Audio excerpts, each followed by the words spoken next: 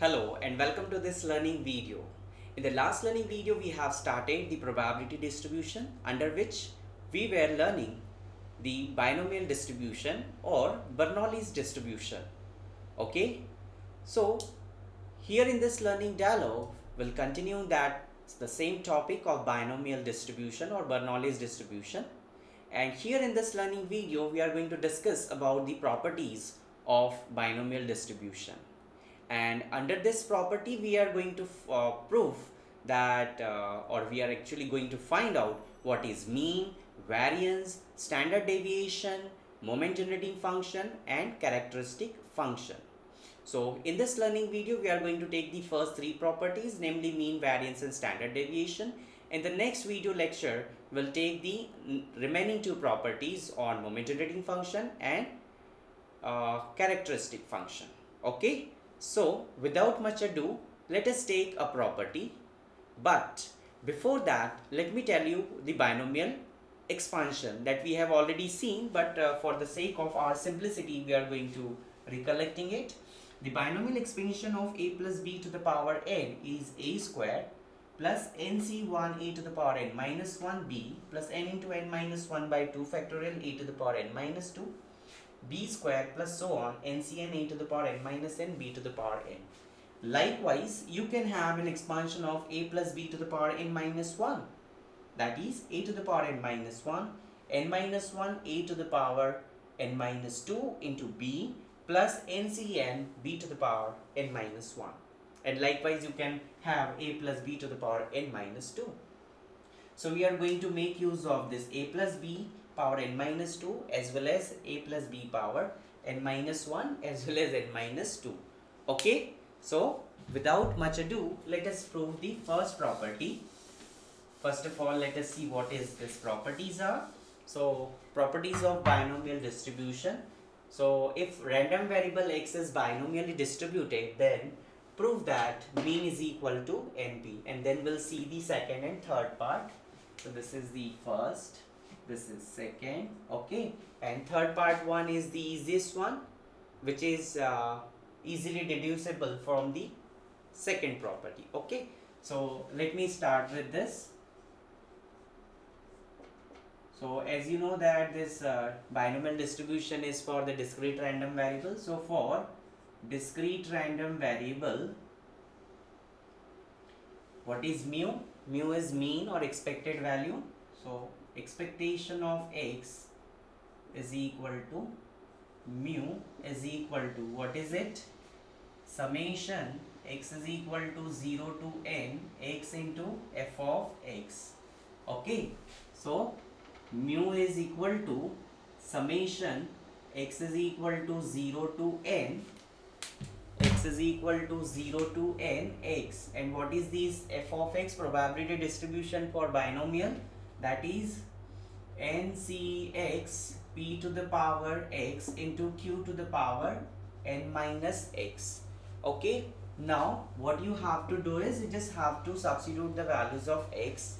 So when you put x is equal to 0 you'll be getting 0 into anything is 0 plus put x is equal to 1 so this is 1 into nc1 into p to the power x into q to the power n minus 1 right?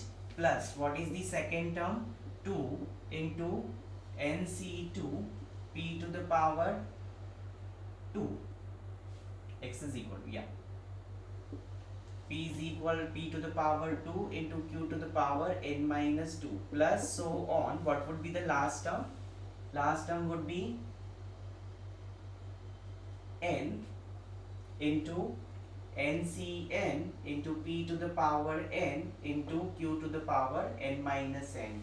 Anything to the power 0 is 1 okay? So this is like 1 into nc1 is n p to the power 1 q to the power n minus 1 plus this is 2 nc2 is n into n minus 1 by factorial 2 p square q to the power n minus 2 plus so on what would be the last term?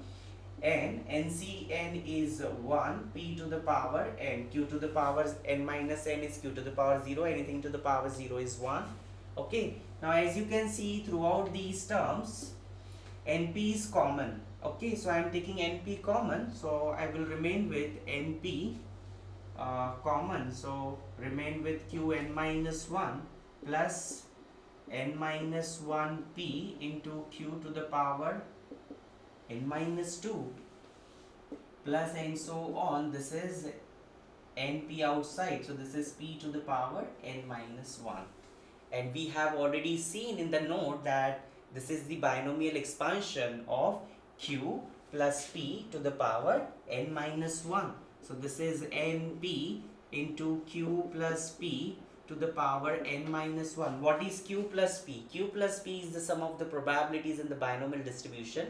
And we know that these are the only probabilities in the binomial expansion. So q plus p is 1 okay. So 1 to the power anything is 1 so this is like np into 1 to the power n minus 1 so what is my mu? That's np so this completes the proof of first now we are going to prove the second property that is variance is equal to NPQ. So if you remember, we have uh, variance of we have variance of x as expectation of x square minus expectation of x whole square. So we have expectation of x that we have just found out. Now we have to find out expectation of x square. So expectation of x square can be found out expectation of x squared can be found out easily by just simply summation x square f of x then this is x square. Okay now we have to do some arrangement over here and we can now able to get the variance. Okay so so what I am gonna do here is uh, I will just uh, make one adjustment for this x square. So I will write x plus x into x minus 1 okay? So x plus x into x x square minus x. Minus x plus x get cancelled. We are getting this so we can do such adjustment. Okay? So this is the first adjustment that I am uh, doing into ncx into p to the power x into q to the power n minus x. Now you just separate these values. The moment you separate these values you will be getting x is equal to 0 to n. X into ncx p to the power x q to the power n minus x plus summation x is equal to 0 to n. X into x minus 1 into p to the power oh, sorry ncx into p to the power x into q to the power n minus x. Okay just separating the things. And what is this? This is my this is my expectation of x. Mean. So this is my expectation of x plus this is summation. X is equal to 0 to n. X into x minus 1 now what I am gonna do here is I will again make one adjustment uh, applying the uh, summation for uh, two terms okay? So I will take uh, here is uh, one adjustment that I am going to take that is n into n minus 1 n into n minus 1 so n minus 2c and here it is x into x minus 1 so this is x minus 2 okay so this ncx is same as n into n minus 1 upon x into x minus 1 nc2 cx minus 2 these are the properties of uh, combination. Okay? Then uh, p to the power x into q to the power n minus x. So i am gonna write this one as p to the power x minus 2 into p square. Another adjustment into q to the power n minus x. Okay? Now what is expectation of x? We denote it by mu plus. Now this get cancelled with this. So here I can take out the terms which uh, over which uh, we cannot apply the summation. Summation runs over x so I can take the term of n and p outside. So this is uh, n into n minus 1 into p square this is the summation x is equal to 0 to n. This is n minus 2 c x minus 2 p x minus 2 into n minus x. Okay? So now we have this. So this mu that we have already proved that is my np plus n into n minus 1 into p square. N into n minus 1 into p square. Now this is the binomial expansion of what is it? This is binomial expansion of q plus p power n minus 2 is it? Okay so this is q plus p power n minus 2 and as you know that uh, sum of the probability is equal to 1 and anything power 1 is 1 okay? So except the infinity. So this is uh, np plus n into n n square p square minus np square. I will solve this uh, further. To here I will solve okay.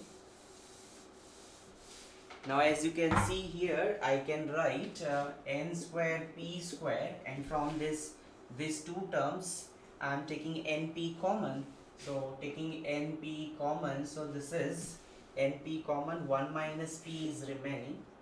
As we know that the sum of the probabilities P plus Q or Q plus P is 1. So what is my 1 minus P? 1 minus P is Q. So I will just substitute here n square P square plus NPQ. If you want you can give here uh, a justification like sum of the probabilities p plus q is equal to 1 because we have only two trials in the binomial uh, distribution. One is the success another one is the failure. Okay? So now I got the expectation of x square. This is expectation of x square n square p square plus n p q.